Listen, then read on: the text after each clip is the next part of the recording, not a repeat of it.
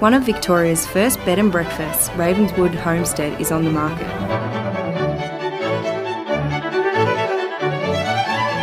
After 20 years in the hands of Art Van Dyke and Troy West, the iconic property, originally known as Alexander Run Number 2, is up for sale and is expected to exceed the $3 million mark, breaking records in Bendigo. But I knew it was here, I knew it was special, and I knew I had to have it. That goes, we're going. We're moving, moving to the country. I'm like, what? So um, we ended up buying it the day before the auction. Mr. Van Dyke said he is excited to be embarking on a new stage in his life.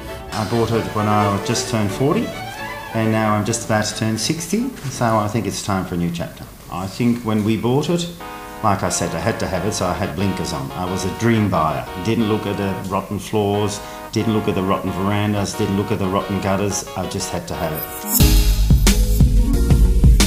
The heritage listed Georgian style home boasts modern comforts and is surrounded by historic memorabilia. Gold was found on this property that turned Bendigo, of course, into one of the richest goldfields in the world, and it all started here. Originally built in 1857 by Frederick Fenton, the property passed through several families until it was bought by Art Van Dyke and his partner, Troy West, in 1994. Mr. Van Dyke said the homestead had been restored to its original state. Wow, Sadly, to the grounds, we had to cut a lot of dead trees out because of the drought. So I think the outside has changed quite a lot. Still absolutely beautiful, still plenty of trees left. To the inside, I think we, we, we, we spend a lot of on power, bathrooms, plastering.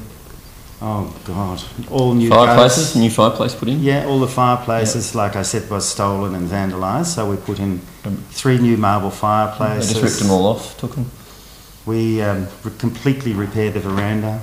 We put on a magnificent swimming pool. We completely repaired the stables were just about to fall down. The pool, that's another feature too, by the way. My favourite part is the front garden with the, um, the fountain we put in. Because you can do 360 turns and it's beautiful views all around and it's just gorgeous out there. We created that. It was an old rose garden and we put in a fountain in 2000 as our millennium, wasn't it? Com- mm. commemorative and it's, millennium. It's, it's, it's, it's very much yeah. the same one as in Rosalind Garden. So yeah, apart from that, there, it, it the top of theirs is a boy holding a snake, though. Yeah, and it's, it's, it's obviously a city fountain because it comes from the city of Mildura, and then Bendigo got one, and then Ravenswood got one. But Rosalind's Park's um is a stainless steel. No, cast iron. Cast iron, sorry. Ours is the first one ever cast in bronze. Yeah, we didn't do it. So cheap. that makes this pretty special. During World War II, the wealthy owners found it hard to get servants so they relocated to the Windsor Hotel in Melbourne.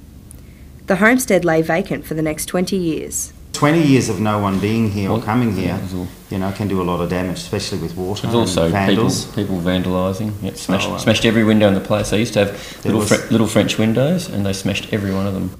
Set on 35 acres, the home can comfortably sleep 40 people. One particularly memorable couple, an 85 year old woman and a 50 year old woman, who referred to themselves as Rainbow Earth Mothers, were part of a religious sect that combined Catholicism and UFOs. I looked out there and this, the 85 year old's standing there like a, like a scarecrow doing this waving in the air, and the younger one's over by the tree making very suggestive notes grinding against the tree, getting grounded, not making love to the tree sort of thing.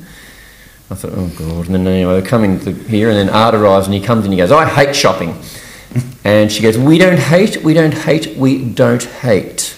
The couple declined Art and Troy's offer for dinner and said they did not eat, instead, surviving off the nutrients from the air. but anyway, they decided to have some soup. Yeah, had some soup and toast. the woman also said they did not sleep. They sat in the realms watching others sleep. She had her hair up and she had, she'd been collecting anything she found in the garden twigs, bushes, dirt, leaves eggshells. She put all in her hair. It was like a whole head full of sticks and twigs and. I'll tell you what, we laughed our heads off. We laughed our heads off. Anyway, the next morning uh, we go, Did you have a good sleep? She goes, Oh, she goes, No, I was up there in the realms watching you all, and I thought, I hope not, because we were laughing about you in the kitchen. Among the characters at the B&B were those that believed a ghost lived in an upstairs bedroom. One particular guest collapsed at the side of the room. it was a bit of a contentious issue, the ghost. We've had, there's a room upstairs. I've never seen one. Well, we haven't seen one. There's a room upstairs, I've right? Never heard Let me one. tell this story, you wait. And she collapsed at the top of the stairs. I'm going to faint. There's been a murder up here. There's something in that room. Big drama queen. She collapsed and had to have a massage. They had to wake her up. It was like full on drama. Then she comes down the stairs. absolutely She comes down the stairs and she goes, "There's been a man dragging a woman's body down this staircase. There's evil in here." Anyway, so she was a crazy woman. Mr. Van Dyke said that after 20 years at the homestead, leaving would be the end of an era.